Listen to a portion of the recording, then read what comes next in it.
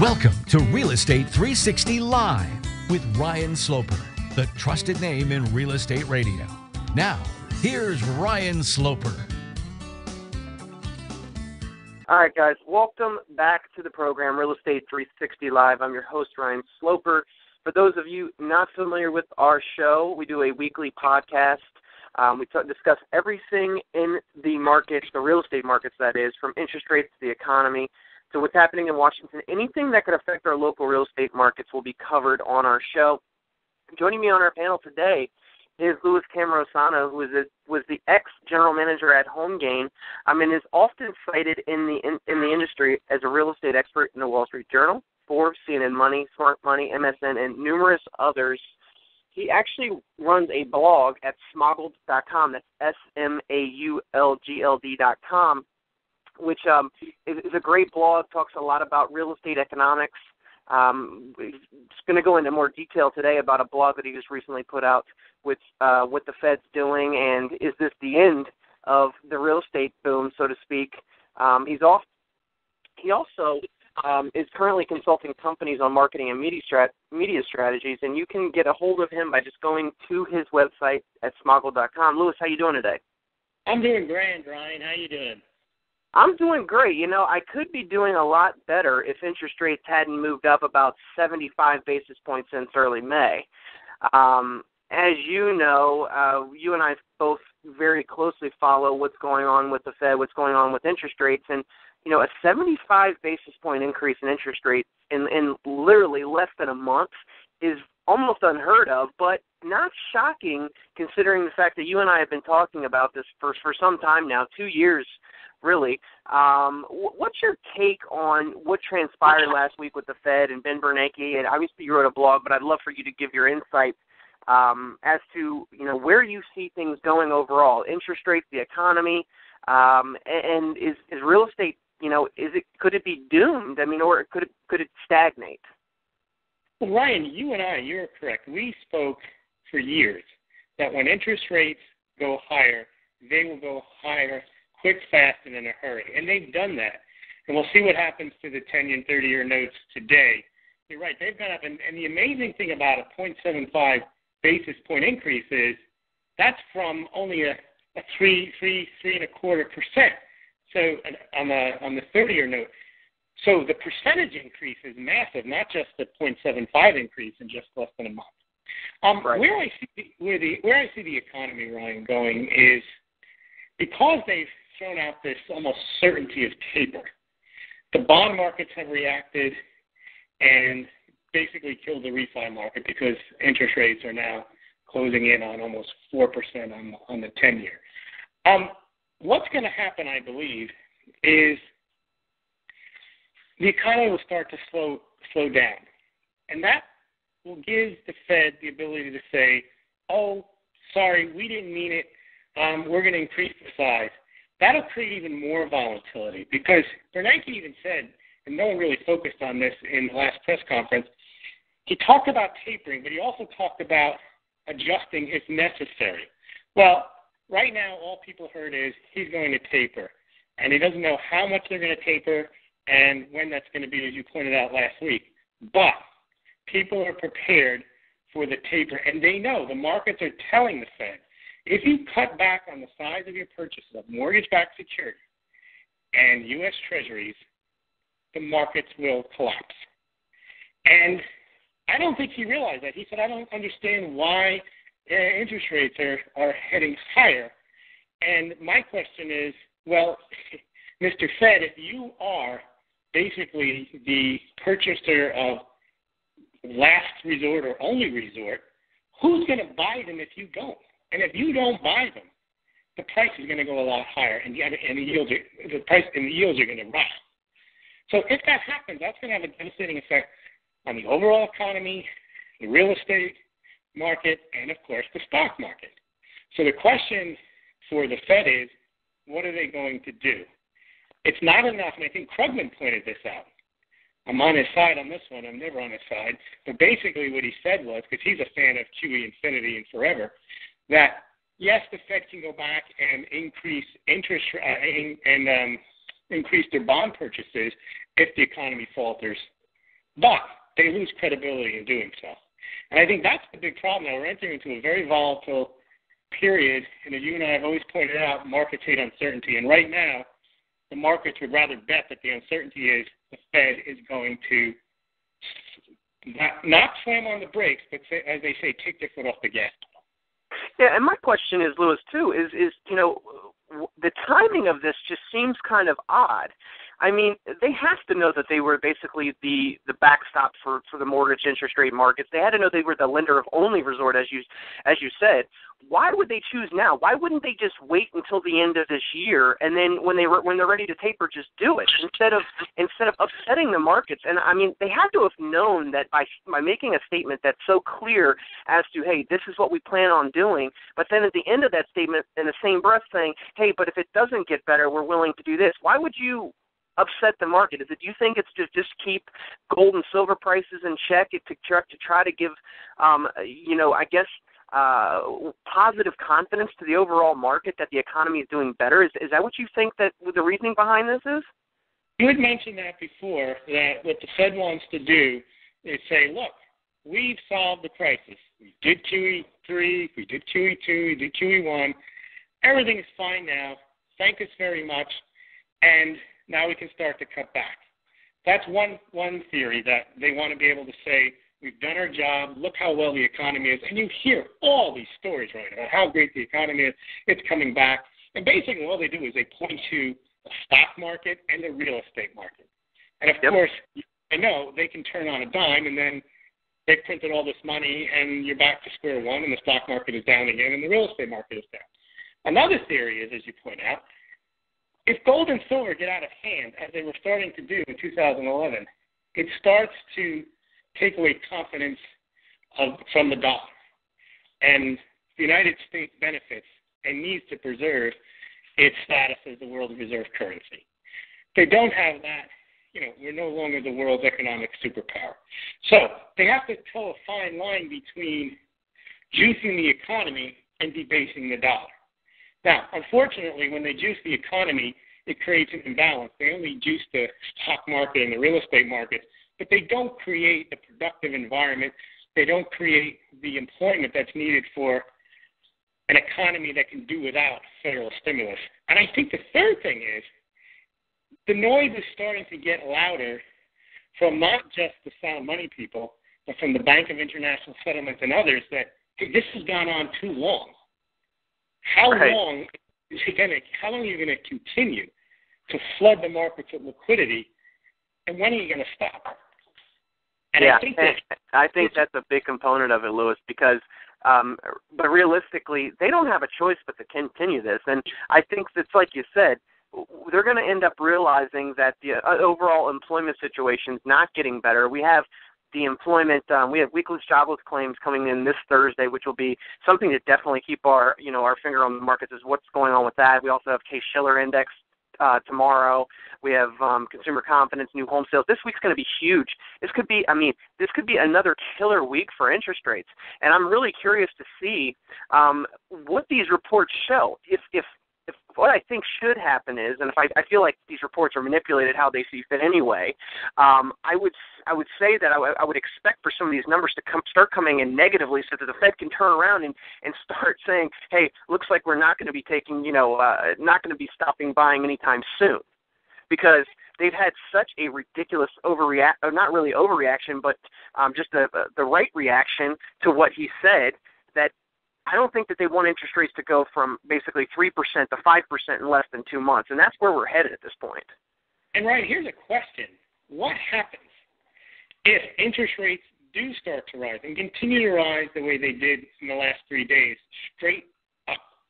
What does the Fed do?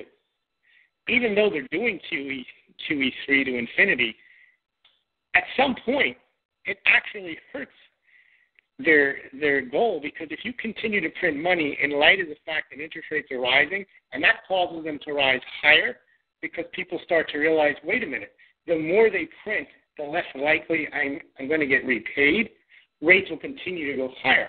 So the Fed really only has one tool. They always talk about the tools that they have. They have one tool put their foot on the gas and print money.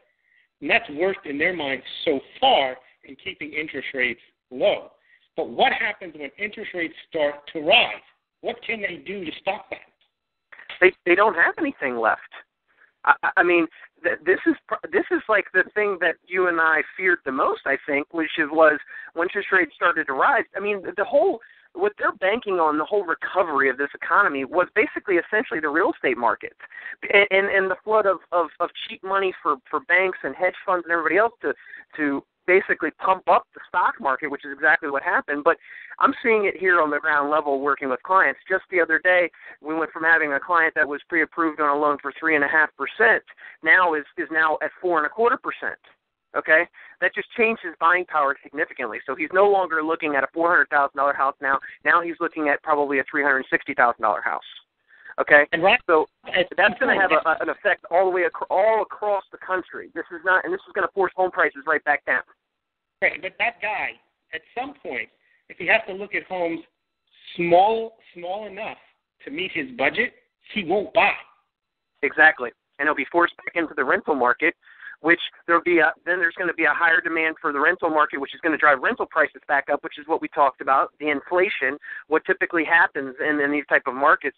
We're going to start to see, I, I have a feeling, especially in the rental market, um, uh, some substantial increases as if they weren't already headed up to begin with. Because people uh, end up being kicked out of the market either because they can't afford it or because, as we've talked about, the main thing is it's not just interest rates, is what is the state of the economy? Are people working 40 hours a week? Is unemployment down to 5 or 6%? No. There are large numbers of people out of the labor force, the most since 1979 the, the labor participation rate is the lowest since 1979. The people that are working are working about 34 and a half hours a week.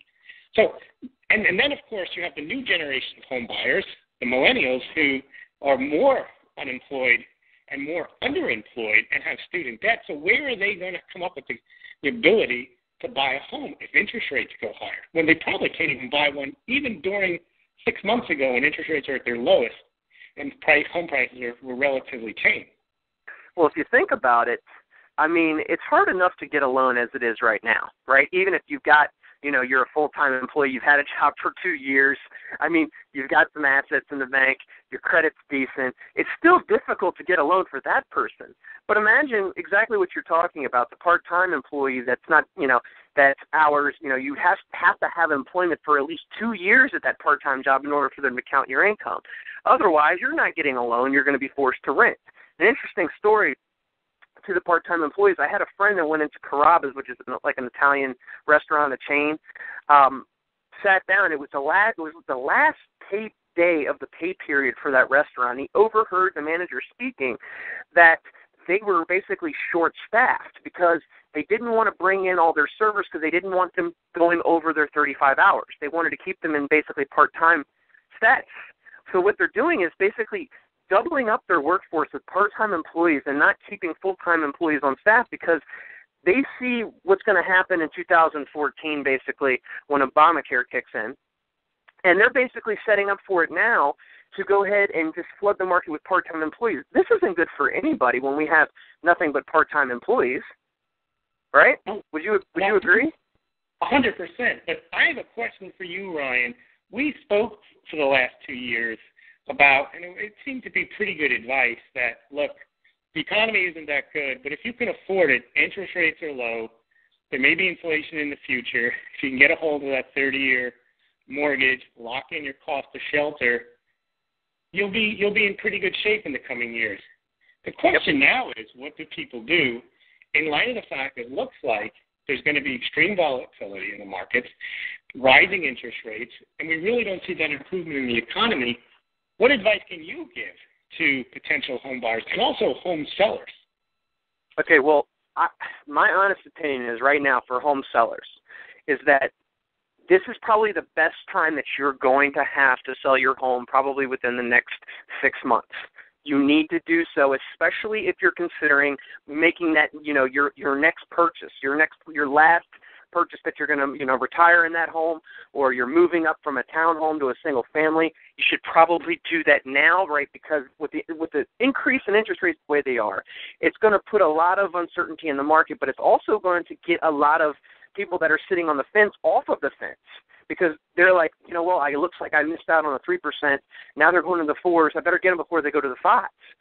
I, I do think that regardless, whether interest rates are at three percent, four percent, or even five percent, that you still need to consider buying as an option because those are still historically low interest rates where you can, as you said, lock in your long term cost of home ownership. And you know, even at six percent, it still makes sense. But what you need to be doing is is, is not worrying as much about the interest rate as you do with the affordability of that home. And I would say that you should probably start today by you know seeing what your options are, knowing what your you know your potential payment is. If you were able to sell your home and and you had that money, you could actually put down on another home. Is that is that feasible for you or not? I mean, most people talk about it the biggest problem that I see with most people is that they they're very good with talking with friends, neighbors, relatives about the things that they want to do. But the reality of it is is that they haven't even talked to any professionals about where they currently stand with their finances, with their credit, you know, how much equity they potentially have in their home. Just because your neighbor sold his house for 400,000 doesn't mean your house is going to sell for 400,000. So there's a lot of, you know, ifs and buts in in a, in the language of a potential home buyer or seller that I think that the smartest thing to do is to just sit down with a, a local lending professional and a local real estate agent. If anything else, it's no different to me than you know you calling up your stockbroker and, and having some sort of uh, annual review or semi-annual review. To me, you should be doing the same thing with your real estate portfolio. You should know what is your equity position in your in your property do you have the potential to go and buy another house? It's nice to know those things. You don't ever have to do anything with it. But the reason why it's important is because interest rates are constantly fluctuating. And with this 75 basis point increase in rate that we've had in the last month, and I'm looking right now on my computer, and we're another 15 basis points down today in price. So it's probably going to be another eighth by the end of the day. And I don't really see anything until tomorrow when these reports come out. Rates could continue to go higher. But at the end of the day, would you be happy, Louis, if you were still able to lock yourself in at sub five percent interest rates, historically knowing where interest rates have been? Yes, and I think what's going to happen, Ryan, is we're going to see the housing market continue to keep up its steam through the summer because people will rush to purchase houses before the rates rise. Yep. As rates rise, then it will fall off a cliff because a lot of inventory will come to the market to meet this demand. And at some point, though, when the rates rise, people realize the economy isn't there, all this inventory has come to, mar- to market, and the housing market goes back down. I've been hearing all these people saying, oh, it's not a bubble because they're not even near the 2005, 2006 heights. Yeah, those prices were ridiculous. Those aren't the normal that we need to get back to. Right. And and also, this economy in the last four years is solely based on juicing the housing market. And once that taper go, you know, once the Fed tapers and pulls back the stimulus, stops buying the mortgage-backed securities, stops buying the U.S. Treasuries, and interest rates go higher, and the stock market goes lower, their whole wealth effect, where people now feel wealthier, they have money from the stock market, they feel good about their houses, they're spending money, all of these consumption based metrics come right back down, and there's no production or employment behind it. And therefore, we may see, and it'll give a false signal to everyone, everything is fine, that even though interest rates have gone higher, the housing market is still robust, and you'll hear that through the summer, and then it'll crash. Yeah, I mean, and you know that typically our spring to summer market is when everything is booming. Everybody's, you know, a lot of the people that are putting their house on the market in the summer have been starting to plan to do that probably back in the winter, right? Because we know that the sales cycle of people when they start thinking about it, you know, six months to a year in advance. Now we're speeding up that timeline. I have a feeling because everybody's seeing interest rates move up, and I would hope that real estate agents across this country are calling their clients up, the potential ones that want to put their house on the market, and telling them to do it as soon as possible because you know with all I mean literally financing kills deals all the time. If somebody is qualified yesterday and you're, you're in the middle of a negotiation and they lose a half a percent and they're not locked in, that financing could fall through. So I think that people are, like you said, going to be rushing to get their houses on the market through this summer, and then into probably latter part of this year, like you said, I would start to see you know, some de- declining values again. Now in Northern Virginia, like I said, we we have a supply and demand problem, and what I I do feel that although the 30-year fixed rate mortgage market the um, is going to be going up, I I have this gut feeling that we're going to see adjustable rate mortgages start to go back down at the rate of the the basically 30-year mortgages going up. Does that make sense? Absolutely. Once the rates start to rise and people start to get priced out, the market will meet them and say, "Hey, we'll give you an adjustable. You can still get into a home while rates are low." And absolutely, and and that's see that's where that's what the investors really love. They love to be able to jump back into the adjustable mortgage because they know that they have better margins there. They know that those things are going to adjust um, at some point, and they're going to be able to to have reap some rewards. Versus, like you said, the Fed is buying up pretty much 80% of all the mortgage-backed securities, right? What what private investor wants to buy mortgage-backed securities at three percent or at a three and a half percent coupon? Nobody does. Why would you? And that's why the stock market's getting flooded because they're they don't want the returns of, of of bonds and everything else when they can go into the stock market, which is basically just buying itself up over and over and over again, which is is pretty much, in my opinion, set the crash as well. I don't know how you feel about that, Louis, but I can see the writing on the wall on that one. Um, it's it's pretty it's pretty amazing to me that you know the stock market's at where it's at. I was I thought interest rates would would have started to go up a little bit sooner, um, but I guess now now with the Fed making those comments, it spooked everybody. We and, said there was going to be a spark. We didn't know what it was going to be, but that would set interest rates higher. You didn't think it would be the Fed? well, they shoot themselves in the foot. You know that's what they've done. And, I know. and you heard you heard him in the press conference. He said, "Oh, I, I don't understand that one." He also said gold isn't money. There's a lot of things he doesn't understand. Exactly. Or, yep. or maybe he understands them but ignores them because he knows what his mandate is. Right. Yeah. To continue to bail out the banks by providing cheap credit. Well, and you know, you and I have talked in depth about, you know, when there's so much artificial manipulation with markets, it only takes that one little small spark to ignite everything. And, you know, that's exactly what he's done. And now I have a feeling we're going to start to see in future meetings that he's going to try to, you know, basically retract a lot of what he said, and, but it's too, it's too late. You know what I mean? I think that you're not going to be able to trick people into what because we know what you're doing at this point. Well, I think you know I thought he was going to do it this time because I've been saying you know that he's going to talk paper and print paper, and so far that's what he's done. I mean, he can talk, talk, and talk. He hasn't actually pulled the trigger. And even if they do taper Ryan, you know, we talked about this last week. The first taper, you know, will go from 85 billion a month maybe to 65 billion a month.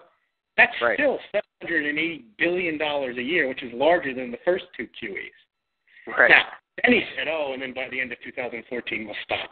He can't see that far in the future. So many things can happen. So I think people are taking him at face value that they want to taper. And I think they do. I think they realize they look foolish. You know, QE one and two were a novelty. I think QE three Infinity, the markets are starting to think is a joke. And I think yeah. that also that ties into the concept. He cannot appear to be just the guy that wants to print money and uh, keep interest rates artificially low, especially since we're not seeing the real benefits. So they're playing this game where they're saying, "Oh, there are benefits, so we can stop." And the second right. he said he's going to stop, they said, "No, there really are no benefits." And the one benefit you created, which was a roaring real estate and stock market, is no longer a benefit once you stop juicing the markets. Right, exactly. But you know, the funny thing is, is though, it, to me, he'd have been better off to keep doing that because it, it would have actually helped the economy improve uh, as little as it may be. Only because equity, the equity in people's homes are going up. So what's what's happening is, is that people are taking the home equity lines of credit.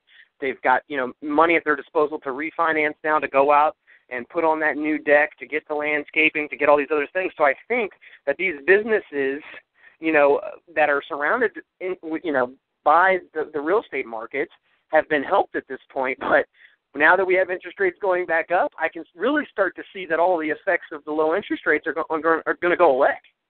Of course, but you see, a consumption-based recovery can only go so far because oh, absolutely. And, and I think that's what he's realizing is that consumption really hasn't gone up that much. You, I mean, if you think about the QE progression, the real estate market did not come out of the doldrums until interest rates hit that rock bottom low. What was it earlier this year? Yep. At, at that point, people say, "Okay, thank you for the gift. I better go and buy a house." Right. But up and it really didn't work. And as you see, and we will see as rates rise, then the interest or the ability to buy houses kind of goes away again. And yep. I think the Fed realizes they can't keep interest rates at the levels they were earlier this year for the next three or four years, hoping and waiting for the economy to improve. They really are in a bind. If they continue with QE, they're going to undermine the value of the dollar. They're going to Uh, just print themselves into oblivion. But if they stop, they risk cratering the entire economy. In the two good parts of the economy that are still there, the stock and real estate markets. Without those, you don't have any consumption. Right. What you're looking for, because if the stock market goes down, the wealth effect goes away, and people feel poor. And if people have less equity in their homes, they feel poor. So you can't even get that little portion of the economy. Well, it's a large portion of the economy, spending 70% of the GDP, but you won't even get that because that'll go down.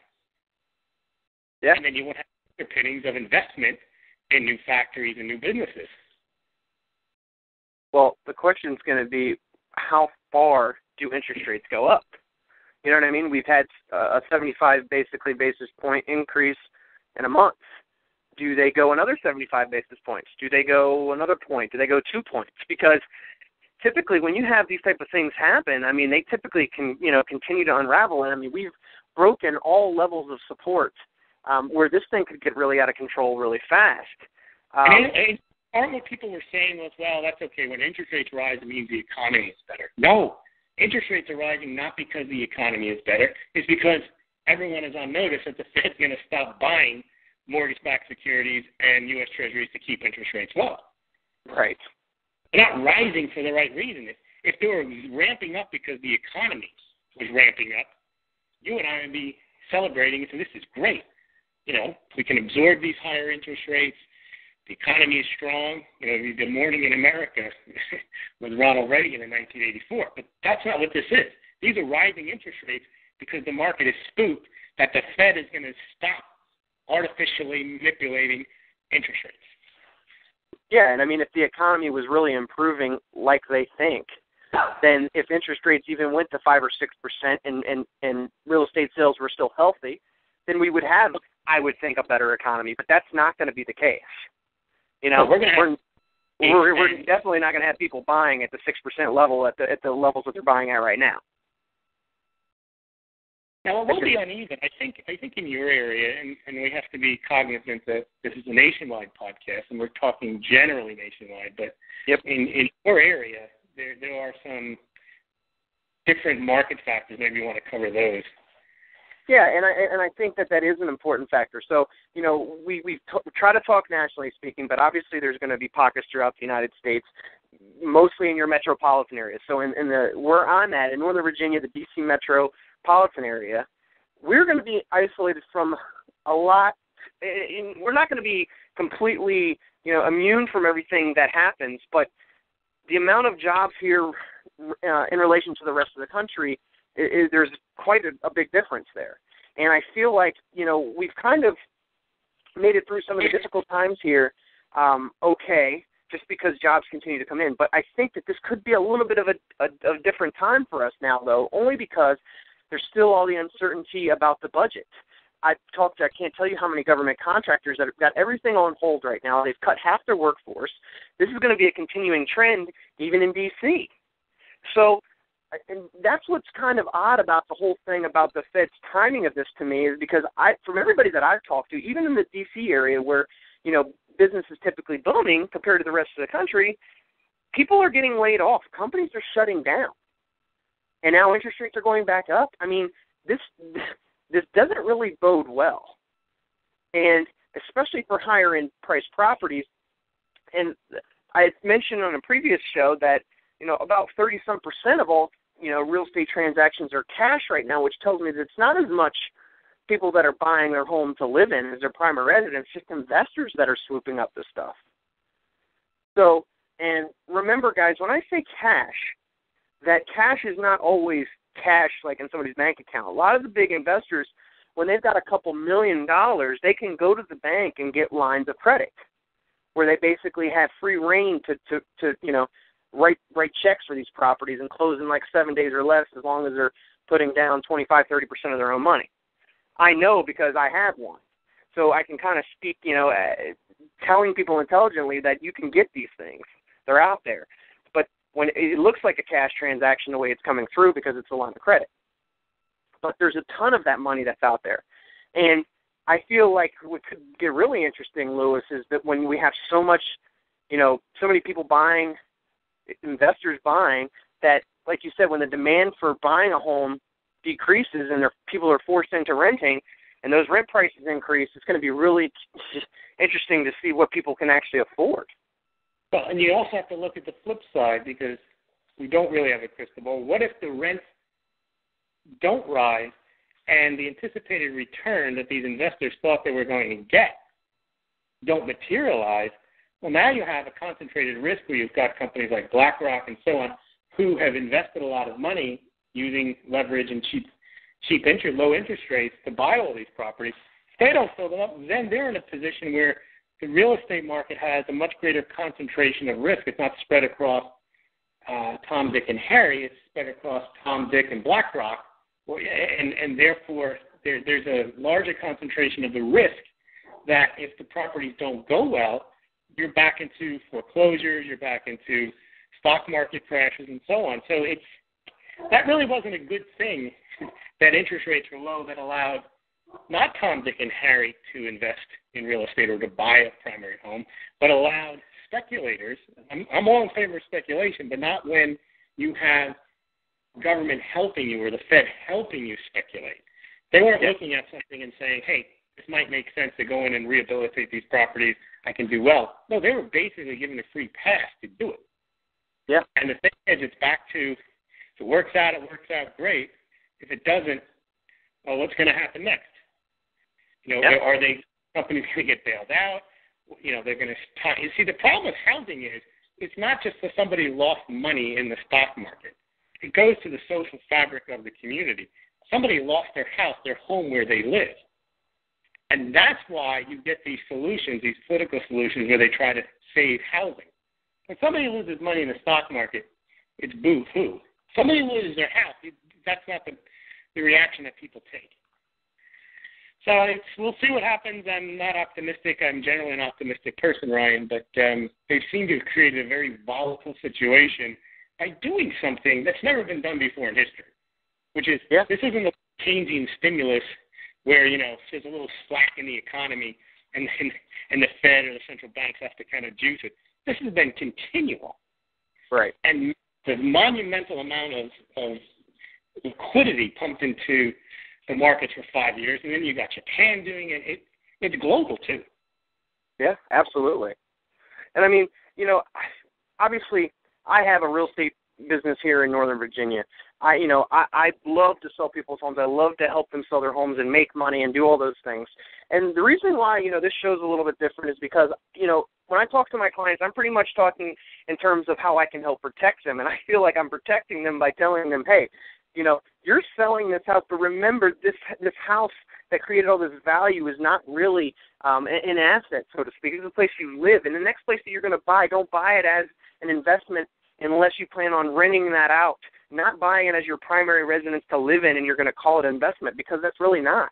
It's not an investment.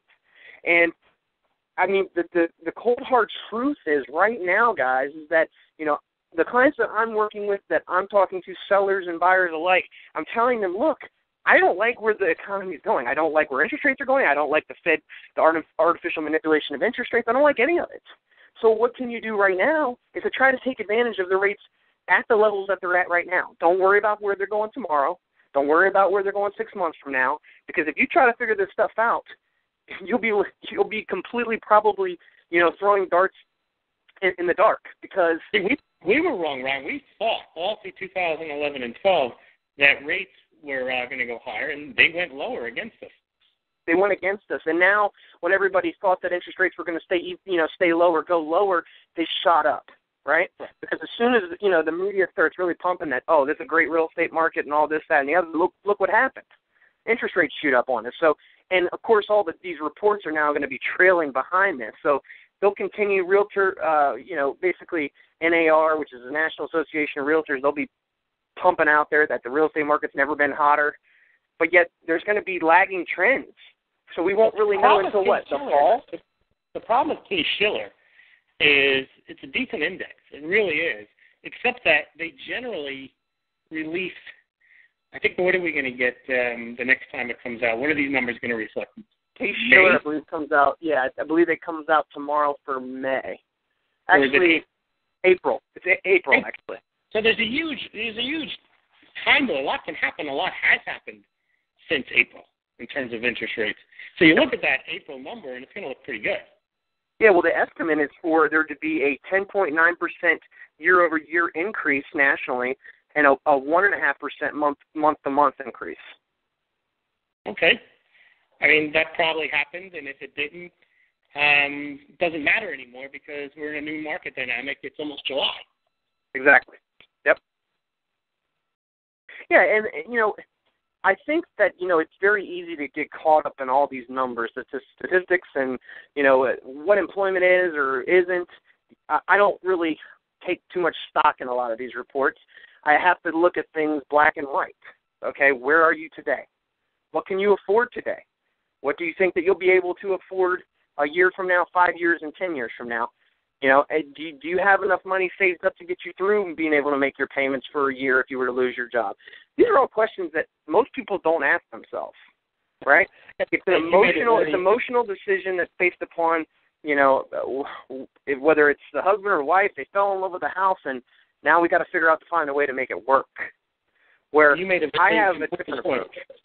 You made a very important point, Ryan, that looking at those numbers is futile because, and you pointed this out in the past, the only thing that matters, unfortunately, is not what the numbers say or your analysis of them or you think, is what does the Fed think of those? You have to put yourself in the shoes of, okay, there's bad economic news. Okay, the Fed's going to, okay, that's good for us because the Fed's going to keep interest rates low.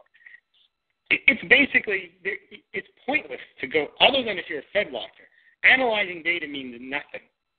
And you'll drive yourself crazy trying to make sense of it unless you look at through the lens of what the Fed does. The Fed is monolithic, and whatever happens in the economy is going to run through the Fed lens.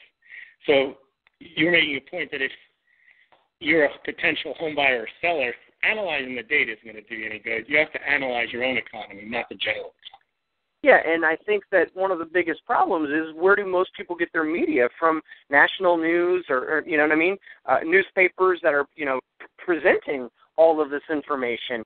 And when I sit down with clients, I, I like to tell them that I don't really care about what's going on nationally because it's really irrelevant. Um, right. You know what I mean? It's really irrelevant. Your bank account, your job, your your needs. What kind of house do you you need to have? What are your plans for retirement? Not Exactly. what is the what is the Fed thinking about the latest Case Shiller? Exactly. Does it does it matter what somebody is making in San Francisco? Does it matter what their home prices are if you live in Nebraska? No. Because the employment situation is completely different. Your supply and demand, your your home prices might have been stable for the last ten years and never really changed. But they don't ever speak about in local market terms of what's going on in every single market and how interest rates have affected those markets. Those are the numbers that you really want to see. And you know, I can tell you from my perspective, what's going on in my market is uh, it's red hot. It is absolutely red hot. And there's a house. There's a house that comes on the market that's priced right. It's gone in less than a couple days.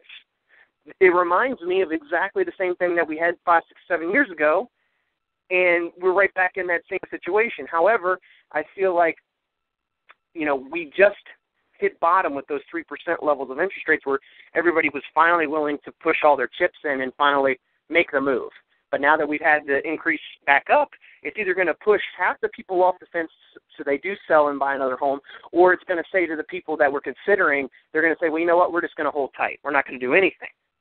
I think it's going to bring a lot of sellers out, and it's going to flood the market with inventory. Yeah, and it very well could. But what will the, the telling sign will be when we look at these local numbers, when we come back, you know, two months from now after interest rates have had time to to settle in, what what the demand was. How much, do we now have an increased supply of homes on the market? That's what's going to really be the telling sign. Now, will demand be there to meet that increase in inventory? Yeah, and you know, I'm just not so sure that there is going to be. Um, I've kind of heard. I mean, I've just heard so many people talking lately. The, the economy that the Fed talks about and Congress talk about is not the same economy that I'm looking at. I don't see jobs that are that are so abundant that are all over the place that people are you know cheering because everything is going so great. It's still a struggle out there for many, and to think otherwise is is crazy. I mean, we've got what I want to say it's sixty some million Americans that are on food stamps alone. I mean, we've been increasing those programs, right? Everything is increasing for for people that are struggling. Um, middle class, which is a lot of what I deal with, some are it's 50-50 split. Some are moving up and some are moving down. So, like I said, is, is a is a potential buyer or seller in today's market. Look at interest rates as what's your is it affordable for you? I mean, I think that you know it's very easy to get caught up. Well, my neighbor got four percent, so I have to get that four percent. Or um, just last night, this is a for instance, I met with a seller, and they said, "Hey, well, we we we basically have heard that this is a seller's market and that we shouldn't have to pay closing costs." Well, who told you that? Well, it was my neighbor up the street. Well, I need to tell you that based upon all you know, my me reviewing everything that's sold in your neighborhood in the last six months, the majority of them have all been sold with seller subsidies of close to three percent. So the reality is one thing, and, and what people see is another. Well, that's you're making the point that talking to a trusted advisor, especially in a real estate transaction, we can hammer this point forever, is the most important thing you can do because the professionals not only know the area, they know the market, they know the dynamic, and they if they've done their job, they also know you, and they know what your circumstance is. And it's and it's the professional's job to kind of talk clients off the ledge, educate them, explain things to them. I often hear, you know, the real estate professionals, sometimes mortgage brokers, they're exasperated that someone doesn't understand something. And right. I say to myself, well, that's because you haven't told them. Yeah. If they knew everything and they knew what they were doing, they don't need you. So, you know, your client is there as an opportunity to educate and, and really help them. You're not just there to collect a commission. Well, you know, and a lot of the marketing that's out there, Louis, is not education-based marketing. It's it's gimmicks. You know what I mean? It's I'll sell your home in 30 days or I'll buy it. it there, nobody's really telling people what's going on in the market. I mean, the conversation that I had last night was you know, obviously the numbers of what you have in mind are important, but only the market is going to dictate as to what we get a contract for. But on the other side of this, you guys have long-term plans, which are A, B, and C, right? How do we how do we meet those goals? Well, first thing is we need to get this house under contract, and if if you have it in your head that you're not going to pay any closing costs, well, then you might have just eliminated 75% of the potential buyers, right? And so and some what time on market and some price Exactly. appreciation. Well, Yeah. So let's say that you, you you turn down this offer, you wait, you don't now you don't get another offer for 30, 45, 60 days, and now this time, not only is it asking for closing costs, but now they came off the price fifteen thousand dollars. Well, I'm going to be the one that I'm going to have to say, hey, I don't I don't want to say I told you so, but this is just what we're looking at whenever you have an offer in hand, you're better off to look at it, even whether it's countering offering or whatever you're going to do. But there's a lot of people that just say, you know, I'm not even going to respond to that. Well, that's to me, it's, it's the wrong approach. absolutely. Um, but, but most, you know, most most um, professionals, so, and there are plenty of them that aren't that good. They're just looking for the commission, and they'll always pay. If you're a seller, oh, it's a great time to sell. If you're a buyer, great time to buy. In fact, best time ever. And and that's really a problem with the industry you know, if, if lawyers run around saying there's never been a better time to bring down lawsuits, they'd be laughed out of the business because right. that's not what you're supposed to do. You're supposed to give advice on what your options are. Litigation, lawsuit may be one of them, but you don't advertise when someone comes in and say, "Oh yeah, straight to court." But most, many, I shouldn't say most, many real estate professionals, and I would say real estate unprofessionals, are constantly telling you what you want to hear. You want to sell your house? Oh, best time to sell. You want to buy, best time to buy. And it's right. not. It's whether it's the best time to sell or buy for that individual. And it's never, ever the right thing to say that right now is the best time to buy or sell a home. Because no. that means all times are the worst times. Yeah, absolutely. If, and, and, you know, for you guys that are listening out there, if you want to reach out to me as a resource on realestate360live.com, that's realestate360live.com. When you go there, you can enter in your email in the stay in the loop section, um, and you can get in contact with me that way or ask a question on that website. Even if you're in a different state um, outside the DC metropolitan area, I'd be glad to connect you with somebody that I feel like you know is a professional in their local area that you know you can deal with and get good advice. As Louis, as you just mentioned, interest rates could be in the nine percent range, and it could be a perfect time for somebody to buy, right? Yeah, absolutely. Because, and, and that's what people forget. Everybody thinks that just where interest rates are, that dictates whether it's a good market or not. Well, if, if you're buying your primary residence as a, as an asset and you're basing it upon interest rates and all that, that's not a good decision. I mean, there's people that all of a sudden get business going. They they start a business, or let's just say they start a, a painting a painting company, and all of a sudden you know they're just they, they found a niche market and they're killing it. They're making good money and we have interest rates in the eight nine ten percent range. They are now ready and willing to buy a house even at the higher interest rate level just because of the financial position they're in.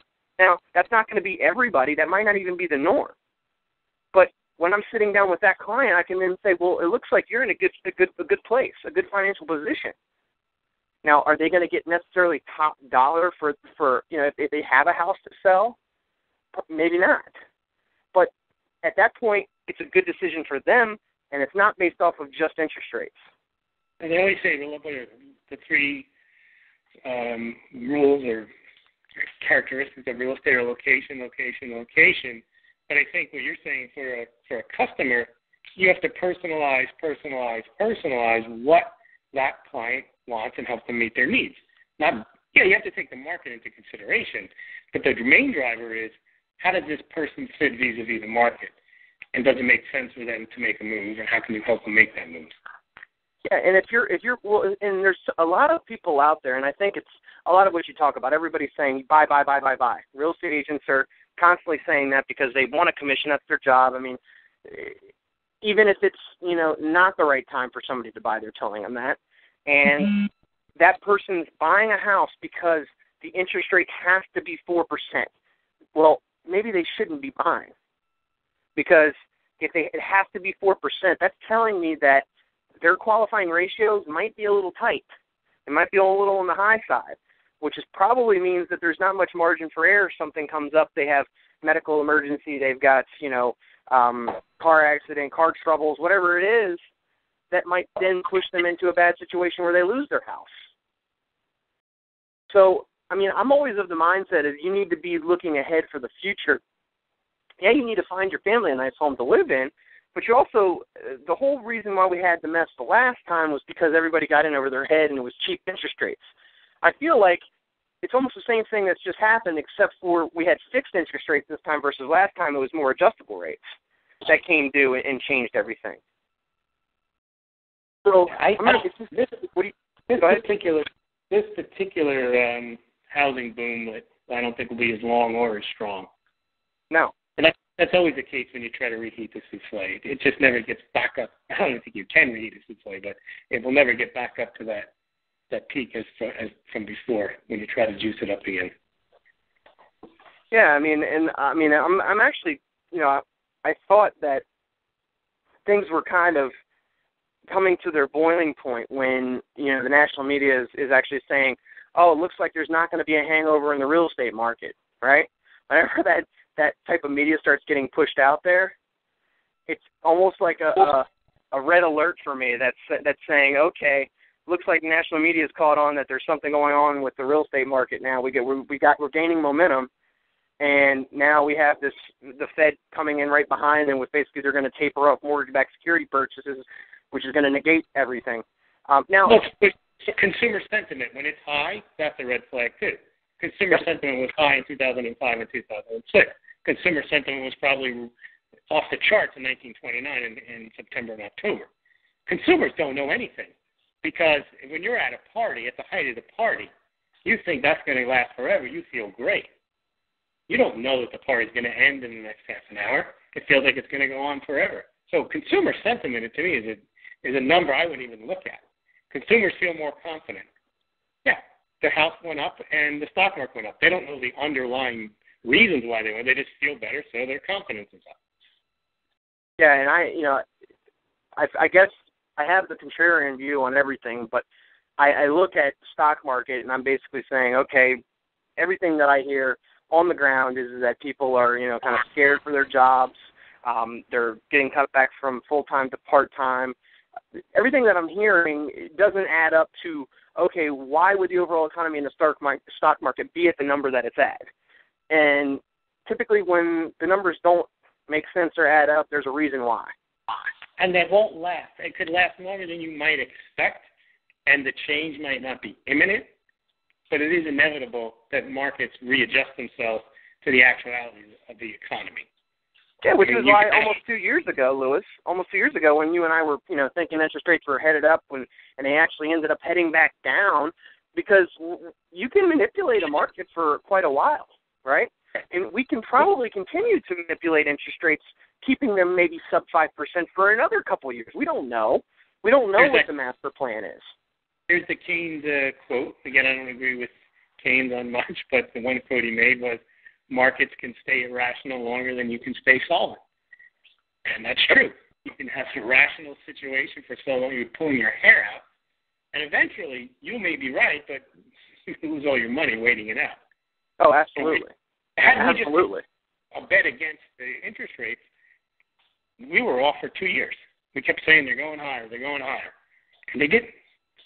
And then, well, then the Fed kept coming in with more and more mortgage-backed security purchases. Correct. And you know what I mean? They kept.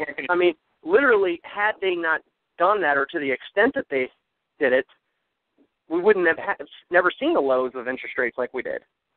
Right. We wouldn't have seen the stock market and real estate recovery. They, they had to do it because they had to show something for their efforts. Yep. The first, the first two did absolutely nothing for the economy. Now they're saying, hey, it did a little bit, so now we can stop. Yeah, and, and moving forward, I think what will probably end up happening is the interest rates will start to come back up, and at some point, the economic reports, the job jobless claims, un- unemployment, all that will come back out, and it's going to be worse than expected. The Fed's going to try to recover and say, okay, we're going to we got to buy more again. Except but I think at that point it'll be too late. What's unfortunate is that the general consensus is is that the Fed is somehow omnipotent and is going to solve these problems for us instead of letting the market readjust naturally as it always does if you leave it alone. And and we're we're all thinking, what is the Fed going to do? How can the Fed help us? It isn't a good idea to taper now. It isn't a good idea for them to be involved to the extent they're involved at all. I, I agree, and I think it's actually sad that we have to talk about the Fed so in depth every week because they shouldn't have any involvement in this. That was not the original charter. It wasn't for them to produce employment. It wasn't for them to clearly it wasn't for them to monetize debt and buy U.S. Treasuries, and clearly it wasn't for them to buy mortgage-backed securities. It was meant, and they've had failed experience with central banks before in the 1800s and so on, was just to be a backstop bank. It wasn't meant to be the, the end all, the end all be all, which they think they are. Yeah. Yeah, it's uh, it's definitely interesting times. Um, you know, obviously we're going to have to monitor this, uh, you know, as things progress. But uh, like I said, as of this morning, it looks like mortgage-backed securities are down another 22 basis points in price. So maybe that's going to equate to maybe another eighth in rate. Just depends on where we go. But you know, we will keep our finger on this. Like I said, there's a lot of economic reports due out this week that we want to um, make note of, which is going to be the Case-Shiller Index, consumer confidence, new home sales. Uh, we got quarterly GDP, weekly jobless, uh, jobless claims, pending home sales. I mean, so we had a ton of stuff this week. So we'll definitely want to see if interest rates continue that upward trend, or if we get some sort of negative economic news that will help them at least at least start to moderate a little bit. Yeah, bad news is, is good news because if we Absolutely. get really economic news, the Fed might jump in and say we're not going to taper, and we can continue to purchase the juicy economy. Yeah, we might just have a surprise Fed conference, right?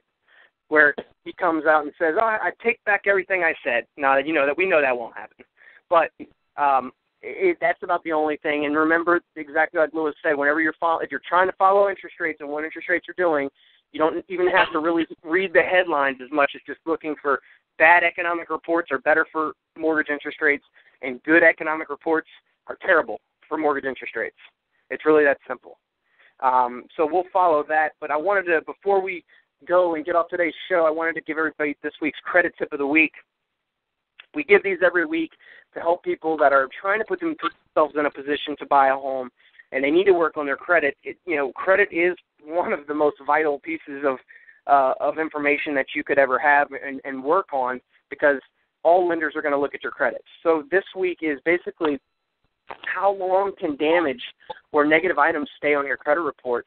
And as far as negative information, late payments are removed seven years from the date of occurrence. Charge offs, settlement, foreclosures, and repossessions are removed seven years from the date they became 180 days past due or went into default. Accounts turned over to collections remain seven years from the time they went 180 days delinquent or into default. Defaulted student loans that are guaranteed by the government can remain on your credit report for seven years from the date they were paid. Then we have public records. Bankruptcy Chapter 7 is removed from the credit report 10 years from the filing date. Discharge Bankruptcy Chapter 13 is removed seven years from the date discharged. Judgments stay on the credit report seven years from the filing date, whether they're satisfied or not. Foreclosures are removed seven years from the filing date of the foreclosure. Released tax liens remain seven years from the date released. This includes liens settled for less than you owe. Unpaid tax lien, uh, lines can remain on your credit report indefinitely, and paid and withdrawn tax liens are removed immediately upon request.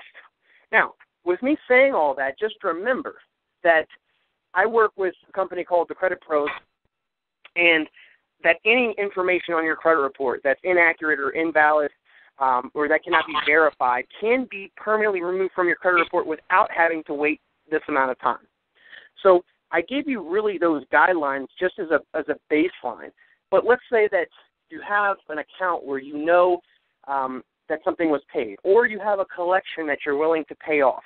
What I would advise you before you do any of that, before you go paying them and they say, okay, this account was paid, that you should probably talk to the credit pros because a lot of the time you can settle with these things and actually get a deletion letter where you'll pay them and they'll agree to delete an item off your credit report.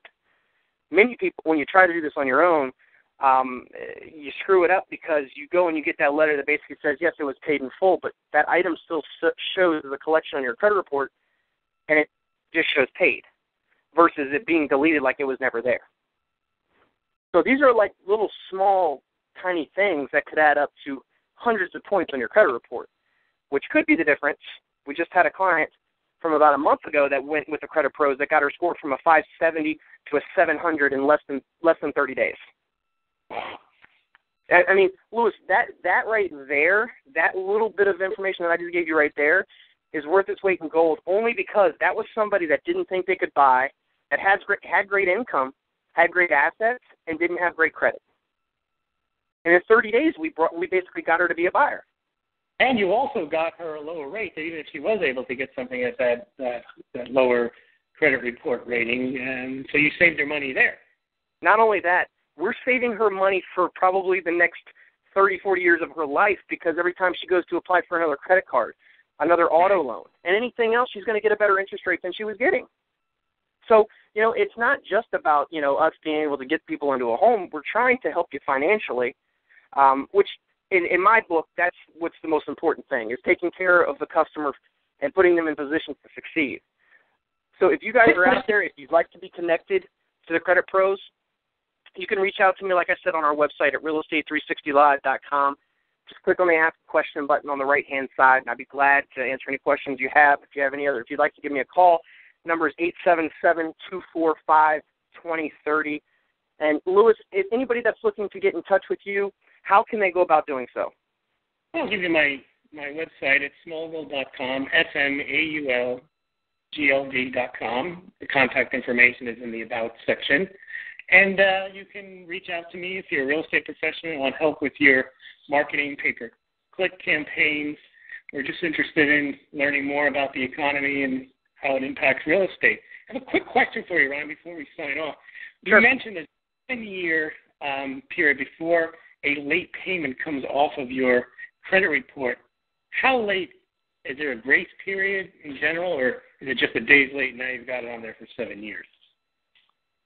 It's typically, um, I think it well, the actually one from from uh, let's see, the one that you were asking about is going to apply for 180 days past due. So it's going to go from 180 days past due late. It's not like you've missed the payment, you, you No. missed the first month and you paid next week. That's not considered a late payment. Correct. Well, it, it what will actually happen is like if you have a 30 day late, right? It will it will stay on your credit report until seven years from that 30 day late. Does that make sense? Okay, yeah, yeah. But it, it, it, what will happen is it'll start to taper off as far as how that's reporting negatively. It won't hurt you as much the further you get away from it. Um, it. and and this is and you know that's a big thing. Like let's say somebody forgot to pay a credit card payment. It happens to everybody. Um, whether you know they had automatic bill pay and for some reason the the, the payment processor didn't send it through on time and you're now 30 days late. Unfortunately, well, it's very difficult to negotiate with the bank to get these things removed. So let's say you did have that 30 day late on there.